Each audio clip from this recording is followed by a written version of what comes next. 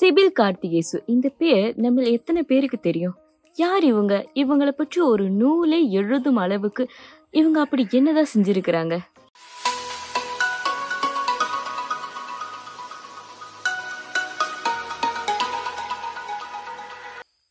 வணக்கம் அன்பர்களே. மலேசிய சுதந்திரத்துக்கு முன் அப்போதைய மலாயாவை ஜப்பானியர்கள் ஆக்கிரமிப்பு செய்த போது அவங்களை எதிர்த்து போரிட்ட ஆன்டி ஜப்பனீஸ் ஆர்மி போராளிகளுக்கு அடைக்கலமும் சிகிச்சையும் கொடுத்த செவிலியர் தான் சிபில் கார்த்திகேசு. இவரை பற்றிய நூல் தான் இன்னைக்கு என் கையில இருக்கு. இந்த நூலை பல ஆய்வுகளுக்கு பின் சான்றுகளை இணைத்து எழுதியவர் சிவகுமார் என்ற இயற்பெயர் கொண்ட சிவாலினின் என்னும் மலேசிய எழுத்தாளர்.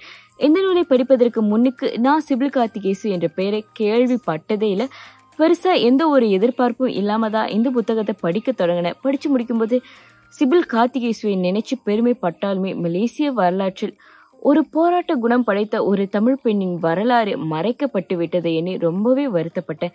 எப்படி இவங்களை பற்றி நான் இவ்வளோ நாள் தெரியாம இருந்தேன்னு தோணிடுச்சு இரண்டாம் உலக போர் காலகட்டங்களில் ஜப்பானியர்களுடைய ஆக்கிரமிப்பு மலேசியாவில் ரொம்பவே கொடுமையாக இருந்துச்சு. அந்த சமயங்களில் ஜப்பானியர்களை எதிர்க்கும் போராட்டங்களில் மாபெரும் பங்கை அளித்த ஒரு வீர் மங்கை தான் சிபில் கார்த்திகேசு. இவங்களுடைய முழு பேர் பார்த்தீங்கன்னாக்கா சிபில் மேடான் டெல்லி. இவங்க இந்தோனேசியாவின் மேடான் பகுதியில் பிறந்த அதுக்கப்புறம் மலாயா அதாவது அப்போதைய மலேசியாவிற்கு குடியேறி இருக்கிறாங்க இவங்களுடைய அப்பா ஆங்கிலேயர் வம்சாவளியை சேர்ந்தவர். அம்மா தமிழ் வம்சாவளியை சேர்ந்தவங்க. இவங்க கார்த்திகேசு என்கிற மருத்துவரை திருமணம் செய்து அதுக்கப்புறம் இப்போல ஒரு கிளினிக் தொடங்குறாங்க. பதினைந்து வருடங்கள் அங்கு சேவை வழங்கிட்டு இருவருமே பாப்பான் நகருக்கு புலம்பெய்து வராங்க. பாப்பான் எங்க இருக்குன்னு பாத்தீங்கன்னாக்கா ஈப்போக்கு ஒரு இருபது கிலோமீட்டர் தள்ளி இருக்குது. இது ஒரு சின்ன நகரம் தான் ஜப்பானியர்களின் ஆட்சியின் போது மக்கள் கொடுமைகளும் சித்திரவதைகளும் அனுபவிக்கும்படி ஆயிடுச்சு. குறிப்பிட்டு சொல்லணும்னாக்கா சீன சமூகத்தினர் ரொம்பவே அதிகமாகவே பாதிக்கப்பட்டாங்க. அவங்களை எதிர்த்து பீப்புள்ஸ் ஆன்டி ஜப்பனீஸ் ஆர்மியை உருவாக்கி சீனர்கள் ஜப்பானியர்களை எதிர்த்து போராட கிளம்புறாங்க அந்த போராளிகள் காயமடைந்தால் அவங்களுக்கு இலவசமாகவும் ரகசியமாகவும் சிவில் கார்த்திகேசு சிகிச்சை கொடுத்துருக்குறாங்க. அந்த போராளிகள் எல்லாம் மக்களுக்காக போராடுறாங்க. நம்முடைய விடிவு காலத்துக்காக போராடுறாங்க.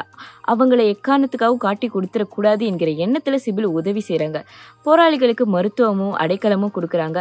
இப்படியும் இந்த விஷயம் ஜப்பானியர்களுக்கு தெரிஞ்சு போக சிபில் கார்த்திகேஸ்வை அவங்க கைது செய்கிறாங்க போராளிகளை காட்டி கொடுக்க சொல்லி வற்புறுத்துறாங்க சித்திரவதை செய்கிறாங்க எந்த ஒரு சூழ்நிலையிலுமே மனசை விடாம உறுதியாக நிக்கிறாங்க சிவு நாள் முழுவதும் தலைகீழாக தொங்க விடுறது நகத்தை பிடுங்கிறது பிடுங்கின விரல்ல ஊசி இறக்குறது உடல் மேல ஏறி ஐந்து பேர் மிதிக்கிறது நிர்வாணப்படுத்துறது இன்னும் பல கொடுமைகள் இவங்களுக்கு நடக்குது. அது மட்டும் இல்லாம சிவில் கார்த்திகேசுடைய ஏழு வயது மகளை அவங்க கண் முன்னே மரத்துல கட்டி தலைகீழாக தொங்க விடுறது எரியிற நெருப்புல இறக்கிடுவோம்னு சொல்லி மிரட்டி பாக்குறாங்க.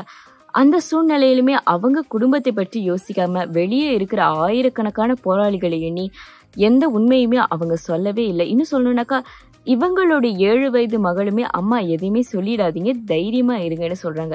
எந்த ஒரு தகவலுமே கிடைக்காத பட்சத்துல சிபில் கார்த்திகேசு பத்துகாஜா சிறைசாலையில அடைக்கிறாங்க. அவங்க கணவரை தைப்பிங் சிறைசாலையில அடைக்கிறாங்க. ஜப்பானியர்களின் சித்திரவதைக்கு ஆளான சிபில் கார்த்திகேசுவை மோசமான உடல்நிலையில சிறையில சிறையிலேருந்து மீட்டு கொண்டு வராங்க. மருத்துவத்துக்காக இங்கிலாந்துக்கு கொண்டு போய் மருத்துவம் பார்த்தாலுமே ஒரு சில மாதங்களிலே இறந்துடுறாங்க இவங்க.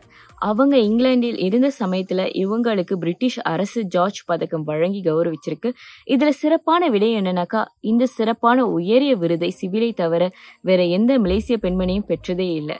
இவங்க இறந்துட்ட பின்னர் இவங்களுடைய உடலை ஸ்காட்லாண்ட்ல புதைக்கிறாங்க. சுமார் ஒன்பது மாதங்களுக்கு பிறகு மீண்டும் அவங்க உடலை தோண்டி எடுத்து மலேசியா கொண்டு வராங்க. இவங்க உடலை ஊர்வலமாக கொண்டு போகும்போது சீனர்கள் மலாய்க்காரர்கள் இந்தியர்கள் என பல ஆயிரம் பேர் கலந்து கொண்டு மரியாதை செலுத்தியிருக்காங்க. இன்னும் இந்த நூலை பற்றியும் சிபில் பற்றியுமே விரிவாக தெரிஞ்சு கொள்ள இந்த நூலின் ஆசிரியர் திரு சிவாலினி என்ன சொல்றாருன்னு பார்ப்போம்.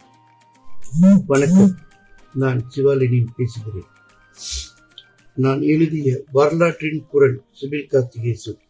எனும் இந்நூல் குறித்த விமர்சனத்தை அல்லது நூல் அறிமுகத்தை செய்யவிருக்கும் சகோதரி சுகமலர் அவர்களுக்கு நன்றி.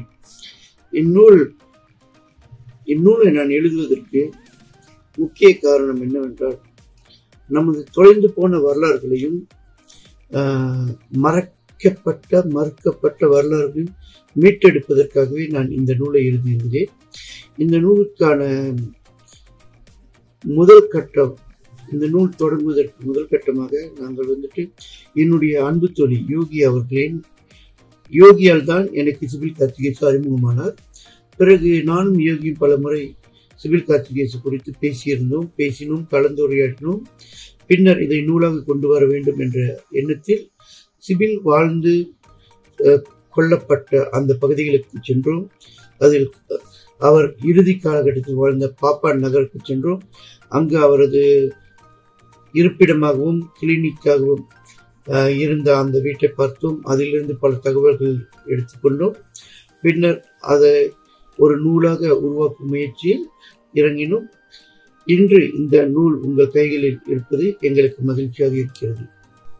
வரலாற்றின் குரல் சிவில் கார்த்திகேசன் எனும் இந்நூலில் இரண்டாம் உலகப் போர் இரண்டாம் உலகப் போரின் காலகட்டத்தில் ஜப்பானிய மலேசியாவில் புரிந்த அட்டுழியங்கள் அதனால் பா ஏற்பட்ட பாதிப்புகள் உட்பட சிவில் எவ்வாறெல்லாம் மக்களை காப்பாற்றினால் காப்பாற்றினால் குறிப்பாக போராளிகள் ஜப்பானில் எதிர்த்து போராடிய போராளிகளுக்கு மருத்துவ உதவி சிகிச்சைகள் மற்றும் மற்ற வகையில் எவ்வ- எவ்வாறெல்லாம் உதவினார் அதனால் ஜப்பானியர்களுக்கு அவர் ஜப்பானியர்களால் அவர் எந்த மாதிரியான கொடுமைகளை அனுபவித்தார் போன்ற பல்வேறு தகவல்களை இந்நூல் அட- இந்நூலில் அடங்கியுள்ளது.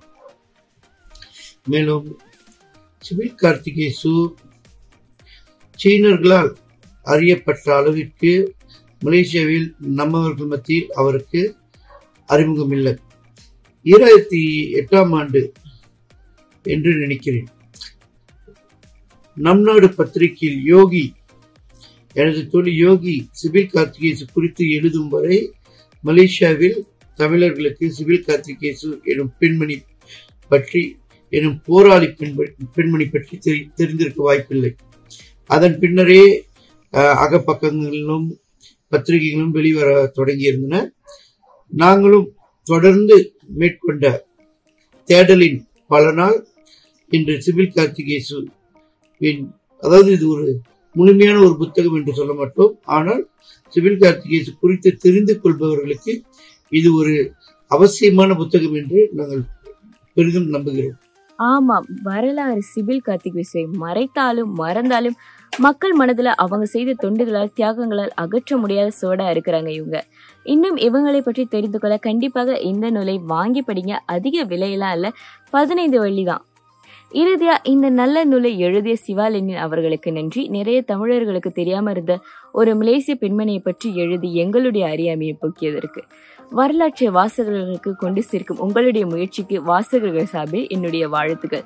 இந்த நூலை எங்க வாங்கலாம் என்கிற இணைப்பை நான் கீழே டிஸ்கிரிப்ஷன்ல கொடுத்துருக்கேன். இந்த காணொளி உங்களுக்கு பயனளிச்சதுன்னு நினைச்சீங்கன்னாக்கா லைக் பண்ணுங்க சப்ஸ்கிரைப் பண்ணுங்க. உங்களுடைய கருத்தை கமெண்ட்ல தெரிவிங்க.